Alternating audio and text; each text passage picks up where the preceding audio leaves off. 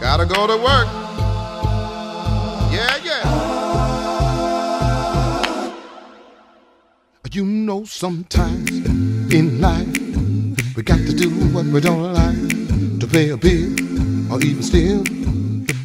What I learned from the sermon today is your faith will be challenged by the devil, and even demons believe in God. So make sure when you struggle, when you have different challenges, to just keep your faith in God, and you know, don't let that identify who you are as a person. Let your faith talk for you, and walk it how you talk it. Ain't nobody said that it was gonna be. I'll apply it to my life by when I do struggle, just talk to God, you know, just give Him my praise. And we all gonna struggle a little bit. It's all I'll put in the work and faith in. You can't have one without the other. Hey, everybody gotta go